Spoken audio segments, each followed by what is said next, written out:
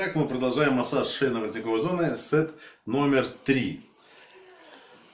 А, значит, сделали эполеты, да, вернулись назад и установили кулачки вот так вот напротив трапециевидных мышц. Теперь мы их расслабим, немножко провибрируем. Для этого делаем прищепку между пальцами. Вот сюда зажимаем эту мышцу и вибрируем от сосцевидных отростков, да, как можно больше, длиннее, там вот до косточек вот этих доходим. Для этого желательно, ну если вы будете рукой вибрировать, да, то вам будет тяжело. Устанет запястье рано или поздно. Поэтому я предлагаю вибрировать все-таки корпусом и э, создать прямую линию с предплечьем и локтем. Вот мы чуть-чуть присели, да, получается вот. Вибрируем всем плечом. То есть у нас плечо, по сути, является движущим элементом. А вторая рука просто зажата. Одной рукой прошлись, второй рукой прошлись. Второй. Потом вместе. И потом побольше вот так вот растрясли их. А от следующий прием, от центра, где вот остистые отростки, да, идут два валика мышц. Вот мы их стараемся от центра отделить. Опять идем сверху вниз. При этом желательно еще голову чуть доворачивать, чтобы сильнее было отделение мяса от костей, так назовем этот процесс, до самой лопатки доходим. Здесь идет как раз мышца элеватор скапулус, она вот туда к лопатке цепляется. И в противоположную сторону. Отделили, поставили кулачки обратно. И теперь с упором, вот опять у нас упор идет туда, в тело человека, перпендикулярно прямо в него Получается, у нас работают все поверхности кулака. Эти, эти косточки, эти косточки. Достаточно болезненно. Доходим до черепа, натягиваем на себя. И как бы отрезаем вот эти мышцы от центра к краю. То есть движемся перпендикулярно оси позвоночника. Вот так вот мы разрезали, да? Кулачки остались на месте, но руки превратились лапу леопарда, который сейчас будет делать шестеренки. Шестеренки это вот такие движения по очереди. То есть мы поднимаем его мышцы. Раз, два, три, четыре. Видите? Раз, два, три, четыре. Раз, два, три, четыре. Раз, два, три, четыре. Делаем, получается, сколько получится проходов. Раз проход, два проход, три, четыре. В сторону к черепу натянули череп. И в обратную сторону. Теперь лапы леопарда натягиваем череп на себя как можно сильнее. Поскольку это декомпрессия, то мы можем даже отойти назад и вот всем корпусом тела своим потянуть. Тянем. Тянем на себя, добавляем вибрацию. И тут же наши пальчики становятся в, вокруг осистых отростков по основанию черепа. Да? Э, очень удобно на акупунктурной точке, которые мы по очереди прожимаем мизинцами, безымянным пальцем длинным пальцем каланча, указательным пальцем. И точка, где крепится э, череп, куда входит позвоночник вот в него, забираем как можно глубже в ту точку. Делаем такой крючок, ну любым пальцем, каким, какой, какой у вас получится. Этим, значит, этим или этим.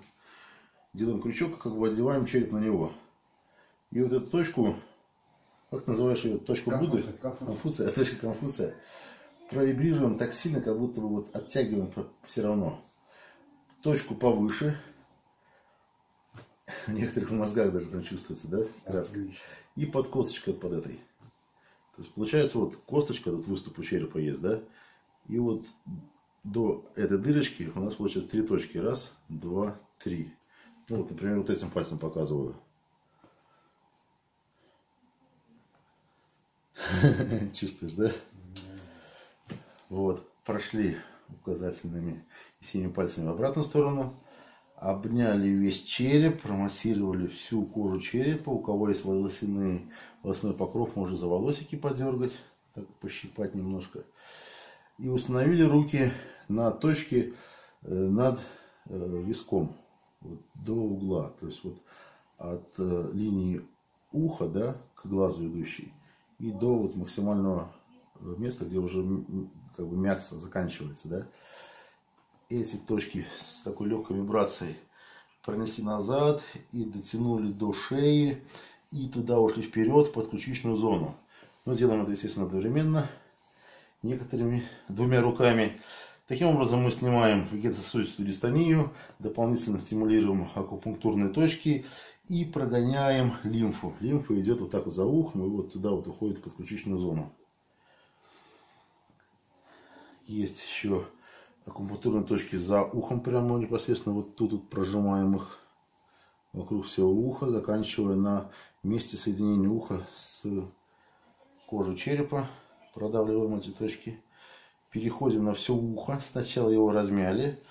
И потом акупунктурные точки, как я вам уже говорил в предыдущих видео, ухо это перевернутый зародыш человека. То есть вот тут у него находятся глаза, уши, вот голова, да, вот шея пошла, хребет, позвоночник, поясница, крестец, вот тут копчик.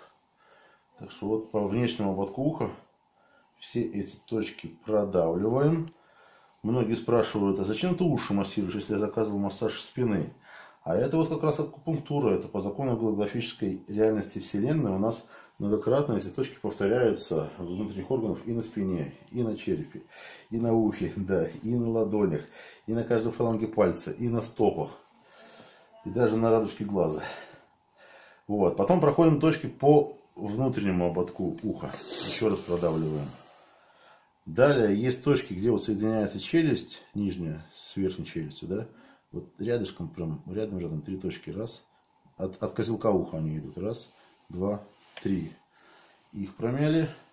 Ну, полностью точный массаж мы же не делаем, да, это просто так вот условно. Разогрели уши, защемив их между пальцами, как прищепка, по кругу. Убираем лимфу опять вот туда. Тут уже мягкие техники, мягко, мягко, не сильно. В подключичную зону вот туда вот вводим. Стимулирующую и щитовидную железу дополнительно. Человек расслабляется. Расслабили его голову. И пройдем все точки, как продолжение позвоночника, они идут и у нас по черепу. Примерно по оси черепа, вот разделяем пополам, да, по сантиметру отходим от него в каждую сторону. И через каждые 2 сантиметра у нас идут акупунктурные точки. В шаулине на них рисовали иероглифы как раз на этих, точках, на этих точках. Пока нажимаем условно, приблизительно мы их ищем. Ну, при сноровке и при опыте вы поймете, тут почувствуете, что есть такие ямочки, шишечки на черепе. Вы как бы случайно в них будете попадать. Прошли опять же точки на шее. Здесь есть акупунктурные точки, вот прям по центру шеи, да, где третий позвонок идет, сбоку от него надавливаем и держим. Потом от него совсем сбоку, вот тут, где плавающий нерв, есть тоже точка. Прожимаем ее и держим. Ну, держим буквально 5 секунд, 10 секунд. Потом есть точка под вот этой мышцей трапецию приподняли. Э, и под ней прямо в тело, вот туда почувствуете такой шарик. Продавливаем вот эти точки, они достаточно болезненные, но зато они облегчают, чувствуешь, да? Они сразу э, всю группу вот плечевого пояса расслабляют, все мышцы. Точка по центру, трапециевидная мышца, вот, то есть, да, визуальному центру. Точка места, места крепления трапециевидной мышцы точка уголка лопатки. И вот лопатка, да, вот точка где-то вот посередине лопатки. Вот тут получается примерно. Тоже прожимаем. Чувствуешь, да? Вот они чувствительные, да. Разогнали кровь, чтобы не оставалось синяков на этих точках. И далее мы вот делаем из двух пальцев такой тренажер, как бы массажер, да, как шестеренка вот он всеми косточками массирует шею. Иногда у меня даже спрашивают, ой, а чем ты, где ты взял там приборчик такой? Промассировали.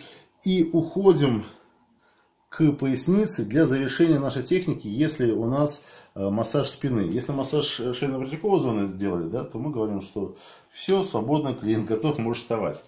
А если мы сделали массаж спины, да, то мы возвращаемся туда. Дай-ка я пройду.